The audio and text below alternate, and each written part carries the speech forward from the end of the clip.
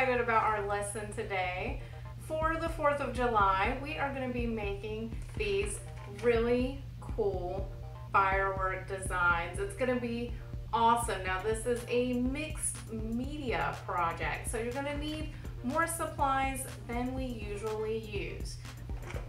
You'll need markers and old markers are better because there are so much colors being layered onto this project the markers are gonna kind of get smudged and mixed together. So, old markers, you'll need two pencils. Uh, one can just be your usual pencil. The other needs to be an old pencil that you don't care about, that you're okay with getting white paint on the eraser. You'll need your ruler so that you can create the border. If you choose not to have a border, you don't need the ruler. You'll need a white acrylic paint and you'll need a white gel pen. Okay, let's get started. Step one is you are going to begin by drawing five stars. And you'll just draw your star by making an X and then putting a vertical and horizontal line through it. Once you've made your stars, you're going to expand them and make them larger by adding more lines.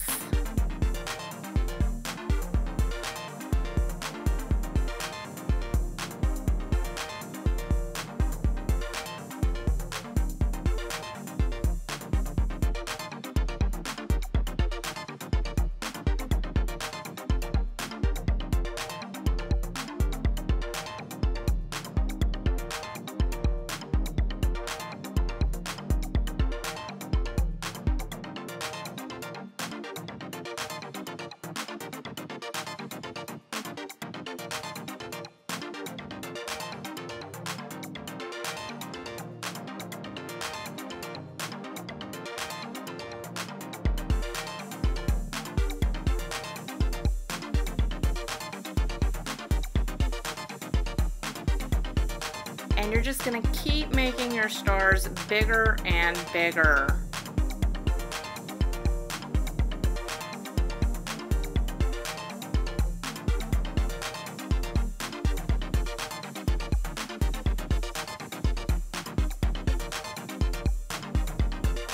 Keep adding lines, your fireworks should begin to overlap.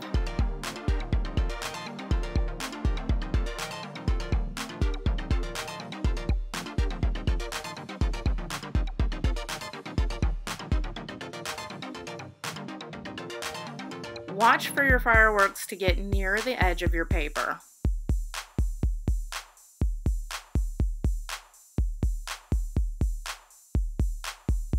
And once they get near the edge, it's time for step three.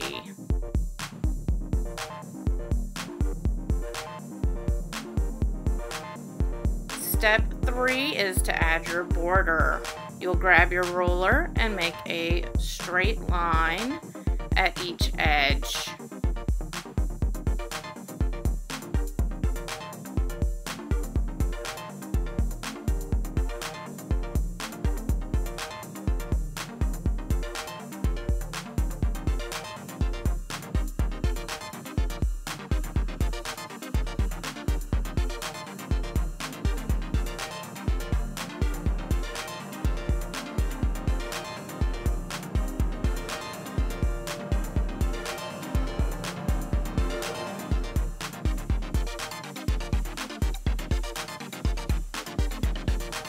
If you have some fireworks that are going over the edge, don't worry. It's just going to make it look like they're coming off of the page.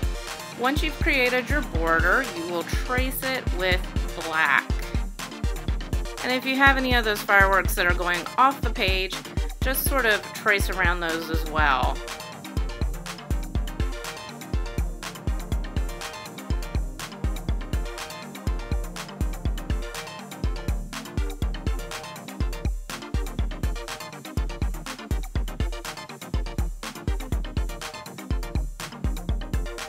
And you can go ahead and fill in any small gaps that you have as you're doing this. You don't have to color the whole page in black yet or anything like that.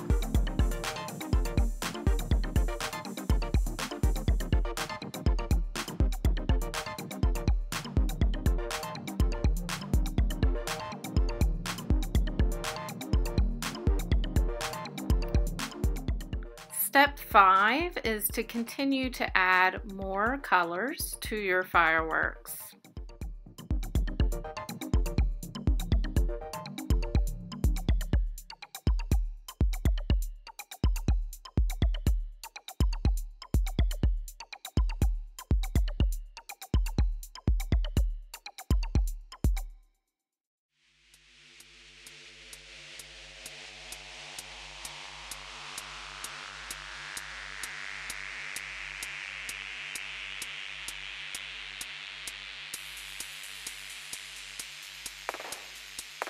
Once you've worked on your fireworks some more, you can return to your border and start expanding that inwards as well.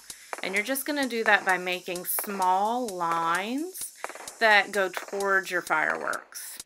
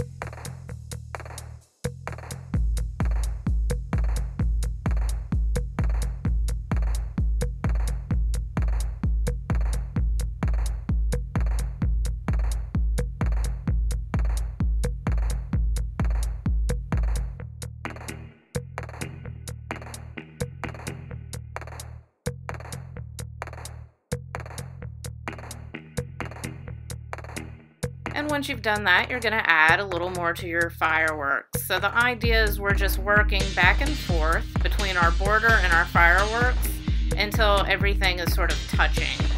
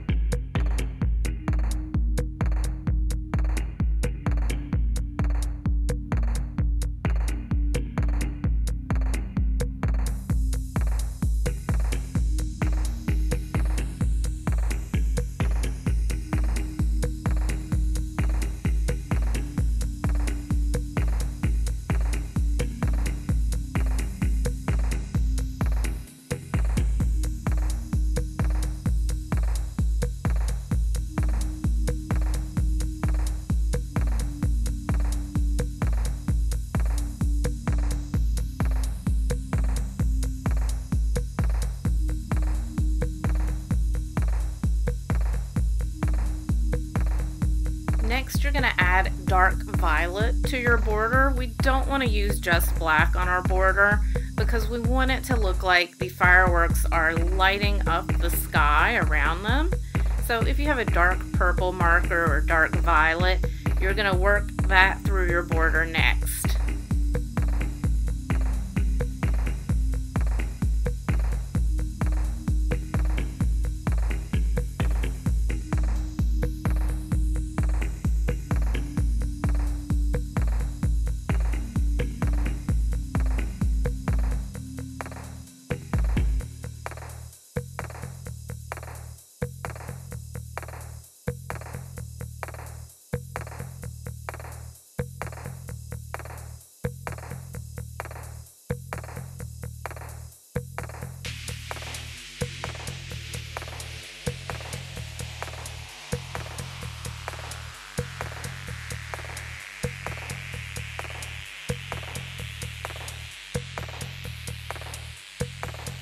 And step nine is to return to working on your fireworks and add even more color.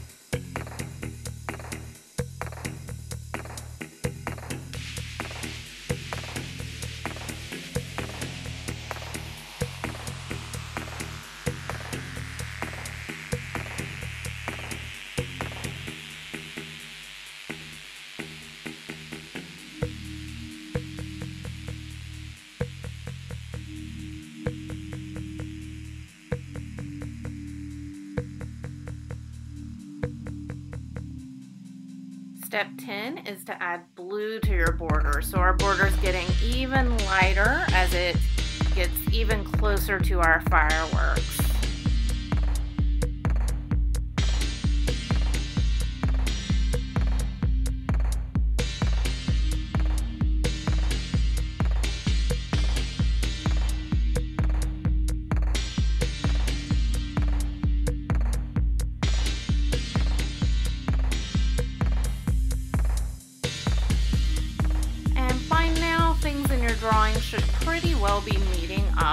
Shouldn't have any large empty spaces. Small white spaces are fine because it's just going to look like light that is shining from your firework.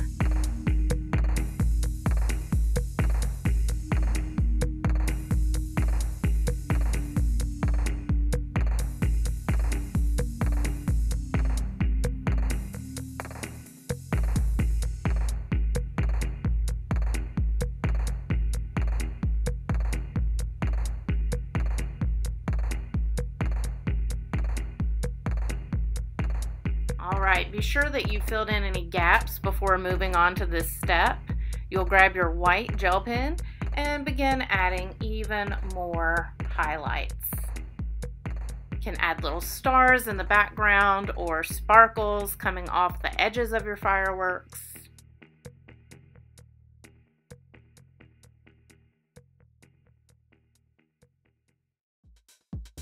While we're working on this step, I would love to tell you about my upcoming virtual art camp where you can make even more cool projects like this one. We will be making art based on the work of famous artists like Picasso, Kandinsky, and Cezanne. Camp will run August 3rd through 7th. Camp for 1st through 5th graders is from 9 to 10 a.m.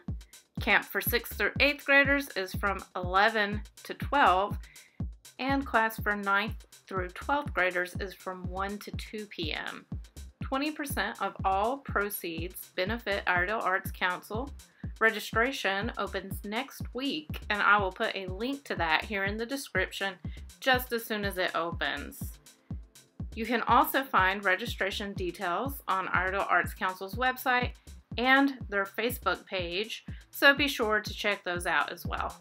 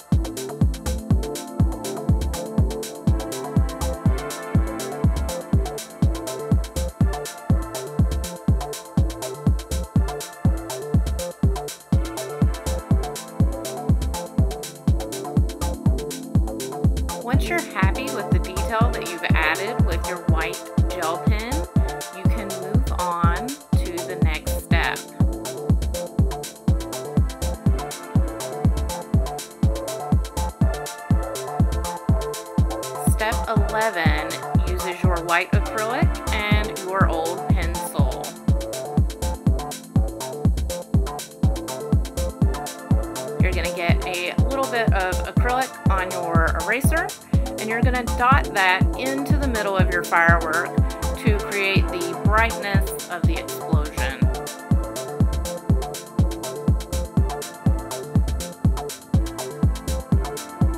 If these don't look bright enough, you can repeat this step to make them brighter.